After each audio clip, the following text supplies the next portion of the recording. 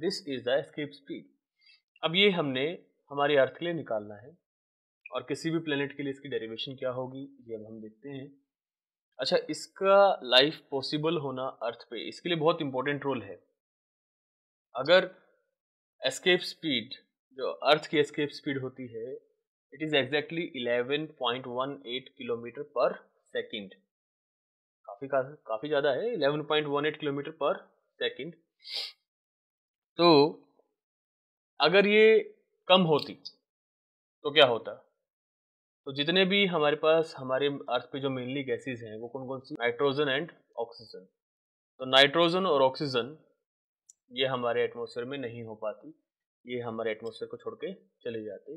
अब हमारे अर्थ की जो स्केप स्पीड है, इसकी वजह से ऐसा नहीं हो पाता। तो जरा अब हम इसके लिए एक डेरिवेशन करते हैं। ये डेरिवेशन मैं आपको दो मेथड से कराऊँगा। दोनों में से जो भी आपको कन्वीनियंट है, आप उसमें यूज़ कर सकते हैं। ऑल राइट तो ये हम अपने अर्थ ले लेते हैं। तो ये हमारे पास अर्थ का एक डायग्राम है। अब एक इस पर हम एक पार्टिकल यहाँ पर कंसिडर कर लेते हैं। ओके अब ये पार्टिकल हमने फेंकना है इसके यहाँ सरफेस से ऊपर। अब हमने ये किस स्पीड से फेंके मिनिमम ये वापस अपने उस पर नहीं आ पाई, ये हमने निकाला। अब इसको हम यहाँ शिफ्ट कर देते हैं। ठीक है? अब इसकी डेरिवेशन देखते हैं पहले। देखिए ज़रा, इसकी डेरिवेशन करने से पहले कुछ एजम्पन्स हमने मानने पड़ेंगे। सबसे पहला पॉइंट ये कि ये अर्थ जो है एग्जैक्ट स्पेलिकल शेप की है। सेकेंडरी और जो एयर फ्रिक्शन है, उसको हम कंसिडर नहीं करेंगे।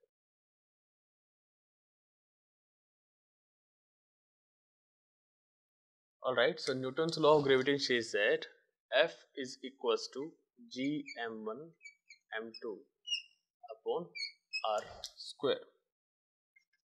Alright, now here where me is mass of earth alright and m is mass of the particle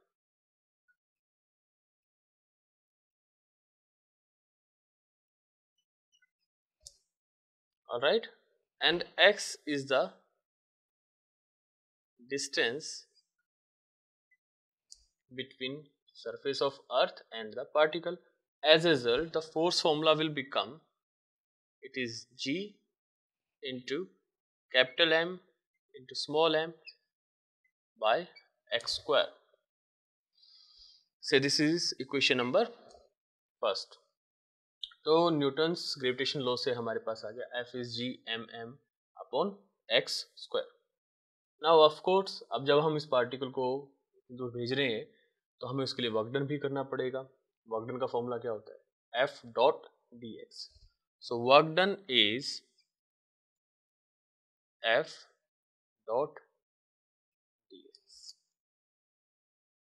if you it it it will become f dx cos of theta अब अभी हमने निकाला था देखिए theta is equals to 180 degree as force is downwards and displacement is upwards so theta is 180 degree cos 180 is minus 1 all right now put this value in the bow equation so work done will become dw is equals to minus of f dx here now value of force you can call this equation number second and put the value of force from this equation first to second we get dw as force की value क्या है minus it is g m m by x square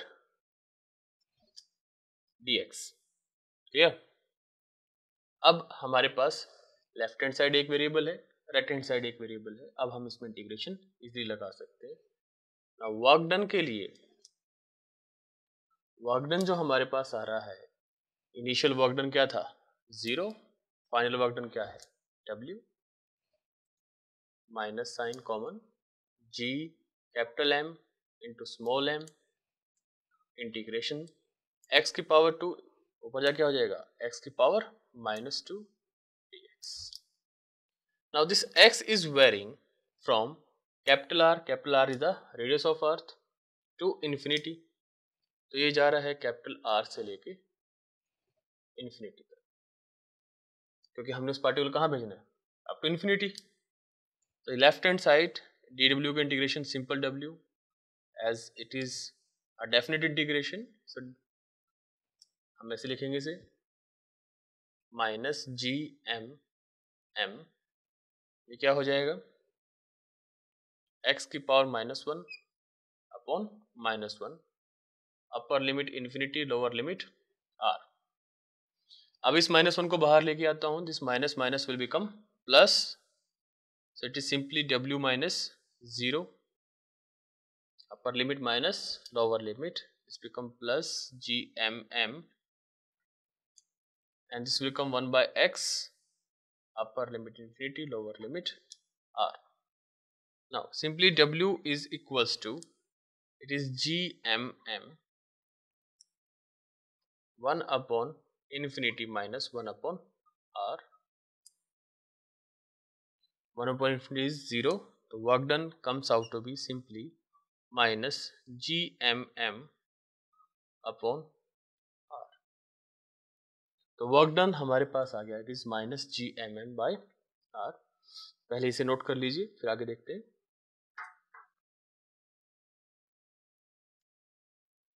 note कर लिया? All right now अब हमारे पास एक formula work done के लिए work from work energy theorem हमारे पास आया था। Work done is equals to change in kinetic energy जब भी हम चेंज की बात करेंगे ऑलवेज मस्ट रिमेंबर चेंज का मतलब final minus initial so change in kinetic energy means kinetic energy final minus kinetic energy initial all right now अब हमारे पास फाइनल काइनेटिक एनर्जी कहाँ थी? इन्फिनिटी पे. और इनिशियल कहाँ पे? On the surface of earth तो इन्फिनिटी पे जब तक हम भेजेंगे, वो एनर्जी क्या होगी? Kinetic energy zero minus half of M into V square अब ये स्मॉल एम होगा, क्योंकि हमने किसको काइनेटिक एनर्जी दी है? उस पार्टिकल को आगे अर्थ को. So M is small M is the mass of the particle this is equals to work done which is simply minus of half M V square now, this is a work done, which we find out after integration. ये दोनों work done क्या होने चाहिए? Same अगर मैं इनको equate कर देता हूँ तो minus of half M V square should equals to minus of G M M upon R इस minus to minus sign cancel out small M to small M cancel out और कुछ कैंसिल नहीं हो सकता है। सो वेलोसिटी वी स्क्वायर ये two चला जाएगा यहाँ पे। It is two G M by R so velocity becomes root of two G M by R clear all right इसको नोट कर लीजिए। ऑल राइट ये आपने नोट कर लिया। नाउ तो वी जो हमारे पास आया it is root two G M by R now small G is called acceleration due to gravity this is equal to G M by r square. Capital M is nothing but it is the mass of earth. इसको m को या m को both are same thing. So from here I could write it is gm small g into r square. Put the value here so velocity becomes 2g r square by r. This r to the square cancel out. So escape speed become root 2 g r. Now radius of earth is it is exactly 6370 kilometer. It's average radius of earth. Round off करके हम इसको 6400 kilometre बोल सकते हैं G की value everybody knows it is 9.8 metre per second value put करें solve करते हैं तो जो एस्केप स्पीड है अर्थ के लिए it is 11.18 kilometre per second. Round off करके इसको हम बोल सकते हैं 11.2 किलोमीटर पर सेकेंड। अब ये इतना बड़ा derivation we can do within three four lines देखिए कैसे कर सकते हैं। सबसे पहले कंजर्वेशन ऑफ़ एनर्जी हमने पढ़ा है concept that energy can neither be converted nor be destroyed, can just transform from one form to another it means total energy at one point will be equal total energy at second point तो ये हमारे पास अर्थ है, ये particle यहाँ पे होता है। तो total energy on the surface should be equal to total energy at infinity so total energy of the particle on surface of earth should be equal to total energy of the particle at infinity clear total energy is on surface of earth is half m v square, and the potential energy is minus M by R on the surface of earth potential energy कितनी होगी? M M by R equals to total energy at infinity kinetic energy will become zero plus potential energy देखिए, ये potential energy का formula है। अगर मैं R infinity put करूँ तो something upon infinity is zero total potential energy भी क्या होगी? ज़ीरो यानी total final energy is zero so from here simply we can write half M into V square ये G M M by R इस side आके क्या हो जाएगा? Plus G M M by R all right small M to small M again cancel out velocity comes out root 2 g m by r. दोनों value same